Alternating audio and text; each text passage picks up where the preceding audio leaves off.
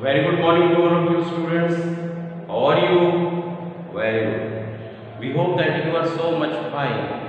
Okay? And you are studying regularly. So, uh, in previous video we have started a new chapter life process of class 10 chapter number 6 and in this uh, chapter we have studied about the few of the topics uh, for uh, as an introduction of the life process types of the life process and in this we have studied about the photosynthesis process about the cross section area of the leaf and the stomata.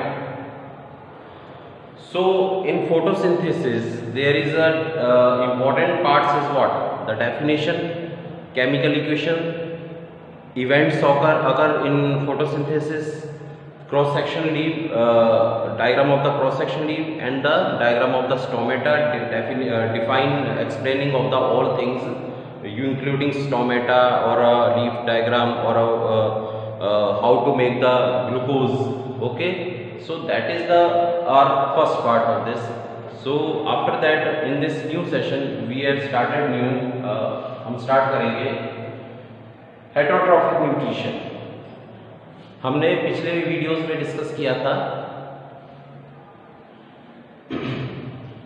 Autotroph nutrition and heterotroph nutrition okay तो यहाँ पर जो है heterotrophic nutrition हम start कर रहे हैं। ये हमारा लेक्चर नंबर टू है। ठीक है?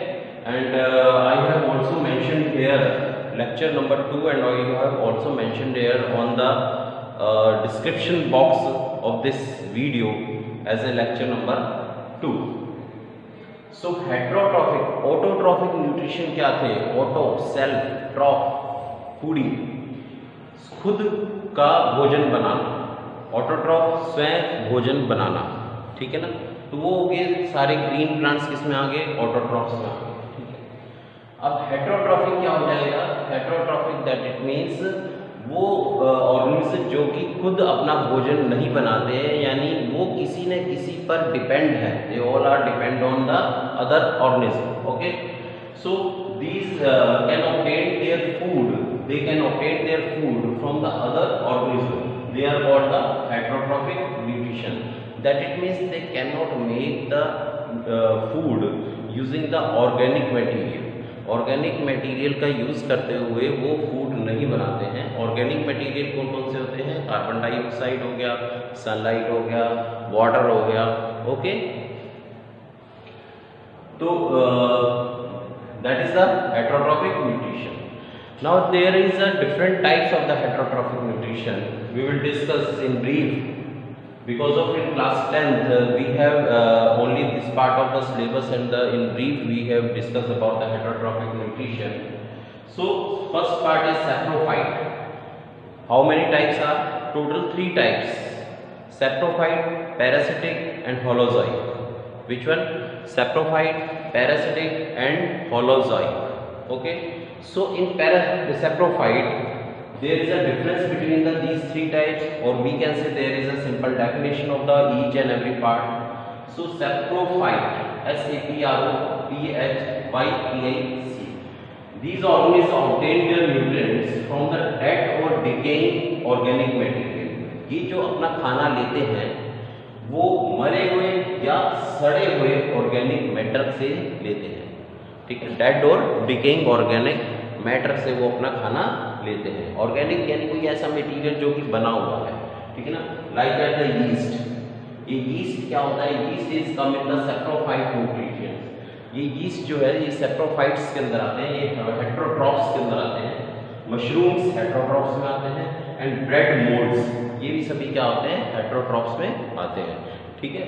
तो ये these are in the saprophyte and the parasitic another one uh, type is parasitic this one is one this one second and this one is third parasitic parasitic an organism lives inside or outside the body of the another organism वो किसी दूसरे organism के अंदर भी रहते हैं और बाहर भी हो सकते हैं ठीक है it takes nutrition from the other organism without killing it वो दूसरे ऑर्गेनिज्म से अपना न्यूट्रिशन लेते हैं और बिना उनको मारे फॉर एग्ज़ाम्पल जैसे हम ये कह रहे हैं कि कुछ ऐसे ऑर्गेनिज्म जो कि अंदर भी रहते हैं और बाहर भी रहते हैं।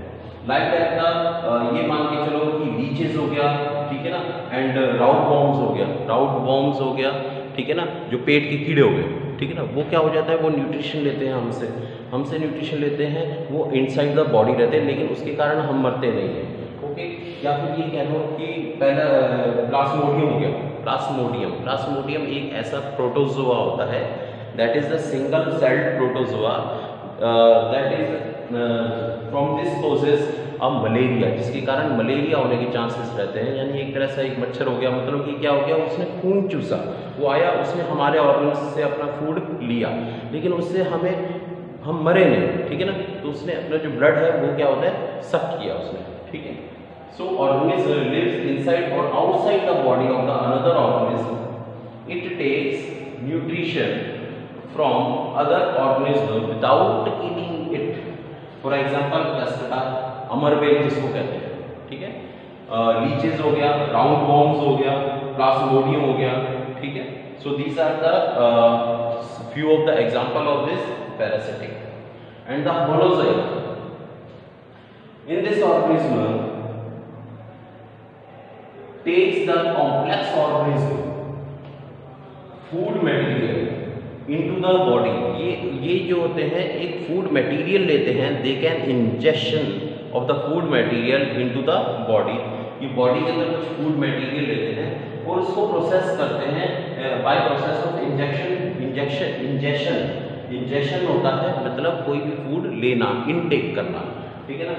By and in this food is digested and absorb और फिर उसके बाद वो फ़ूड को क्या किया जाता है? डाइजेस्ट किया जाता है और एब्जॉर्ब किया जाता है बॉडी सेल में.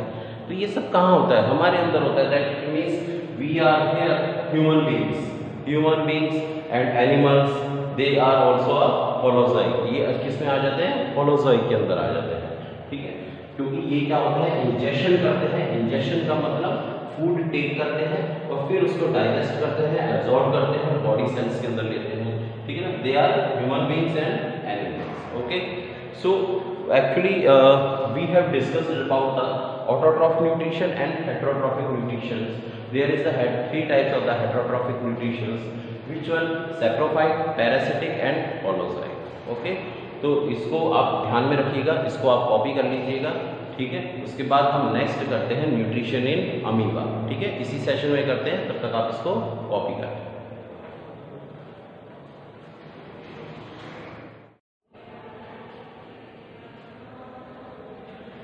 yes dear students welcome back so now in this next topic we have we are going to study we are going to study about the nutrition in amoeba amoeba के अंदर जो nutrition रहता है वो कैसे होता है मतलब कि अमीबा एक यूनिसेलुलर ऑर्गेनिज्म है सिंगल सेल्ड है तो वो किस तरीके से अपना खाना लेती है किस तरीके से उसको डाइजेस्ट करती है और किस तरीके से वो एक्सक्रीट ठीक है ना?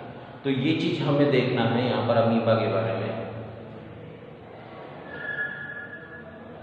न्यूट्रिशन अमीबा के अंदर हम देखेंगे तो हम यहाँ पर चार पार्ट्स के अंदर डिवाइड करके देख रहे हैं। उसका डायग्राम बना रखा है, आप इस चीज़ को समझिएगा। और बुक के अंदर दे रखा है, और जो कुछ वर्ड्स मैं यूज़ कर रहा हूँ, वो और जो बुक में दे रखा है, उनको मिक्स करके अपनों को नोट्स में ठीक है ना? So that is the simple structure of the amoeba in part first part first diagram first there is a structure of the amoeba that having the nucleus the mid part is there having the there is nucleus ठीक है तो ये nucleus करता है यहाँ पर क्या होता है कि अमीबा जो है ये जो पर्टिकुलर पार्ट है ना ये क्या चीज़ है ये ये चीज़ जो है ये फ़ूड पार्टिकल क्या है ये फ़ूड पार्टिकल ये फ़ूड पार्टिकल है अमीबा इसको स्मेल कर लेता है अमीबा इसको स्मेल कर लेता है, इसको पता लग जाता है कि भाई फ़ूड पार्टिकल्स है यहाँ पर। तो ये इसको इसको आभास हो जाता है, ठीक है ना? इसको एकदम से नॉलेज हो जाती है कि फ़ूड पार्टिकल है यहाँ पर, ठीक है? तो this one is the food particle of this amoeba and this amoeba जैसे इसको पता लगता है, ये इस तरीके से like that this see see here like that this तो यहाँ पर जो है, एक फिंगर लाइक प्रोजेक्शन डेवलप करता है ये। फिंगर लाइक प्रोजेक्शन डेवलप करता है कैच करने के लिए ठीक है ना? तो वो फ़ूड पार्टिकल को जो है वो यहाँ पर जो है वो फ़ूड पार्टिकल को इस तरीके से यहाँ पर कैच कर लेता है।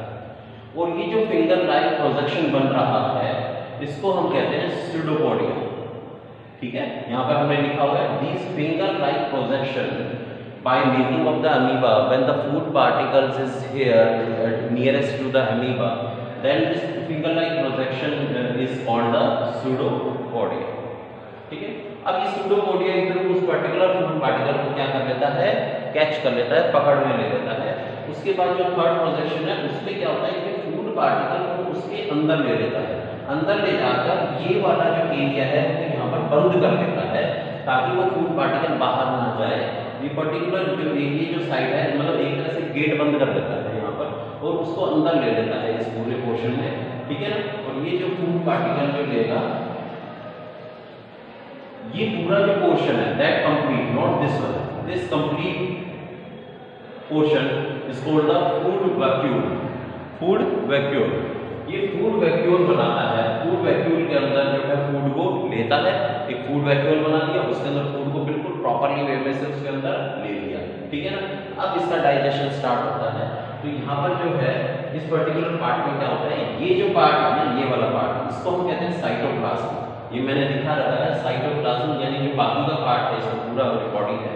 दैट इज़ साइटोप्लाज्म से कुछ डाइजेस्टिव एंजाइम्स वो यहाँ पर फ़ूड वॉक्यूल में आते हैं। फ़ूड वॉक्यूल क्या करता है? इस पर्टिकुलर फ़ूड पार्टिकल को डाइजेस्ट करता है और सॉरी इसको फ़ूड वॉक्यूल जो है पर्टिकुलर फ़ूड पार्टिकल को क्या होता है? छोटे छोटे टुकड़ों में बांटता है डिस्ट्रीब्यूट करता है, ठीक है? और ये जो है स्मॉल पीसेज ऑफ़ मॉलिक्यूल्स के अंदर डिवाइड करता है, ठीक है? और फिर उसके बाद ये कौन करता है एंजाइम्स एंजाइम्स कहाँ से आते हैं?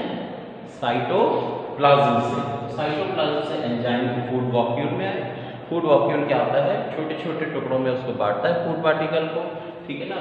और उसको डाइजेस्ट करता है अपनी प्रॉपर पूरी बॉडी में, ठीक है ना? इस तरफ़ यहाँ पर स्क्रीप करता है और यहाँ पर डाइजेस्ट होता है। जैसे ये पूरा डाइजेस्ट हो गया फ़ूड वॉक्यूल जैसे ही हो गया, उसी वक्त फ़ूड वॉक्यूल जो होता है वो डिसअपियर हो जाता है। इस प्रोसेस को कहते हैं diffusion process this process is called diffusion process very good So uh, please listen carefully. You have no any problem in this particular topic. ये प्रोसेस जो होती है डिफ्यूजन प्रोसेस होती है जब फ़ूड पार्टिकल्स को डिफ्यूज किया जाता है छोटे छोटे टुकड़ों में बांटकर उसको क्या किया जाता है डाइजेस्ट कराया जाता है तो यहाँ पर पूरा प्रोसेस क्या हो गया डिफ्यूजन प्रोसेस अब इसके बाद जब वो पूरा फ़ूड पार्टिकल्स डाइजेस्ट हो गया फिर कुछ अनवांटेड थिंग्स भी रह गई हैं, ठीक है ना? तो उनको एक्सक्रीट करता है अपने किसी भी बॉडी पार्ट इस पूरी बॉडी से, इस पूरी बॉडी से, कहीं से भी there is no any fix area so कहीं से भी वो ओपन करके उसको क्या कर देता है? बाहर निकाल देता है, ठीक है ना? अनवांटेड थिंग जो है, वो यहाँ पर क्या कर देता है? एक्सक्रीट कर देता है, ठीक है ना? अनवांटेड मटेरियल हो गया। ठीक है ना? तो वो क्या कर देता है? एक्सक्रीट कर देता है, इस तरीके से। तो कहीं से भी कर सकता है, ऐसा कोई ज़रूरी नहीं है कि यहाँ से करें। अब इस प्रोसेस के दौरान जो फ़ूड वॉक्यूल जो है जैसे ही वो डाइजेस्ट होता है इसमें जैसे फ़ूड वॉक्यूल जो है, उसमें फ़ूड पार्टिकल जैसे ही डाइजेस्ट होता है, इसके अंदर। साइटोप्लाज्म किसकी हेल्प से हो रहा है? एंजाइम की हेल्प से। एंजाइम कहाँ है? साइटोप्लाज्म है। साइटोप्लाज्म एंजाइम इसमें जाते हैं। फिर ये पूरा डाइजेस्ट होकर साइटोप्लाज्म में आता है, ठीक है? अब ये इस प्रोसेस को डिफ्यूजन प्रोसेस कहते हैं। इस दौरान जो फ़ूड वॉक्यूल है, वो पूरा प्रोसेस होने के बाद डिसअपियर हो जाता है। ओके तो अब ये यहाँ पर आने के बाद फिर इस पर्टिकुलर जो फ़ूड जो डाइजेस्ट इसने फ़ूड किया है, उससे ये अमीबा जो है अपने सेल्स में ग्रोथ करता है। ठीक है ना? वो एक अनदर वन एक और सेल बनाता है, ठीक है ना? जिसको हम डॉटर सेल कहते हैं तो वो डॉटर सेल जो है, वो बनाता है। और इससे इसका साइज़ भी क्या हो जाता है? बड़ा हो जाता है, ठीक है ना? तो that is the simply the nutrition in amoeba ठीक है? अब ये जो है, एक वो अपना जो है पैरामीशियम क्या है?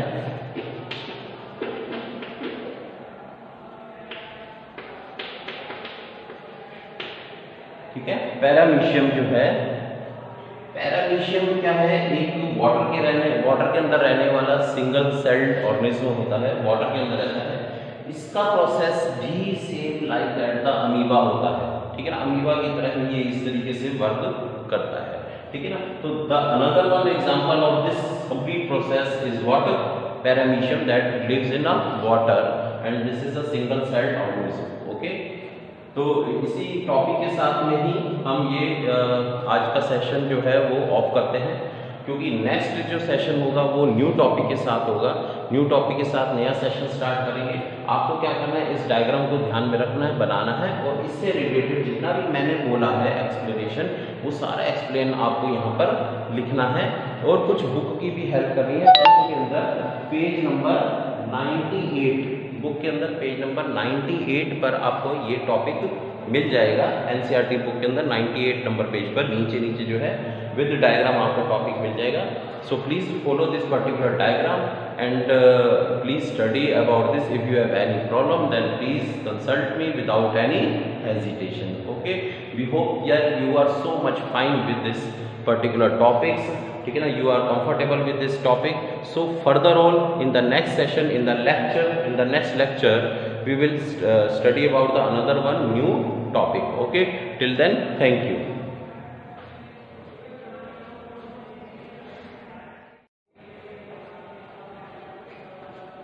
so students we have discussed here have you written we have discussed here uh, the nutrition in amoeba nutrition in amoeba here is the food particle here is pseudopodia. Pseudopodia that it means the finger like projection.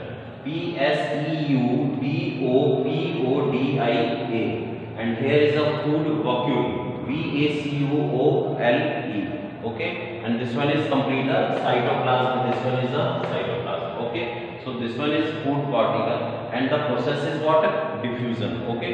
We have discussed about this uh, nutrition in amoeba okay? And uh, in this uh, after that the topic that we have discussed in the next session अगले session में हम nutrition in human beings पढ़ेंगे। Nutrition in human beings पढ़ेंगे बहुत important topic है। थोड़ा सा लेंदी topic नहीं है बस टर्म्स उसमें ज़्यादा है तो आपको ध्यान में ज़्यादा रखना है कि किसका फ़ंक्शन क्या है किसका फ़ंक्शन क्या है। कोई भी चीज़ लेंदी नहीं होती है बस थोड़ी बड़ी होती है हम उसी के अकॉर्डिंगली अपने माइंड को सेट कर लें छोटी होती है, हम उसके अकॉर्डिंग माइंड को सेट कर रहे हैं, ठीक है ना? यानी हम एडजस्ट कर सकते हैं, अगर कोई चीज़ कितनी भी कॉम्प्लेक्स है कॉम्प्लिकेटेड है, ठीक है ना? तो वो हमारे लिए जो है एडजस्ट कर लेंगे हम तो हम ईजी हो जाएगा हमारे लिए, ठीक है ना? तो आप इसको कॉपी कर लीजिएगा नेक्स्ट सेशन में हम फिर मिलते हैं ओके थैंक यू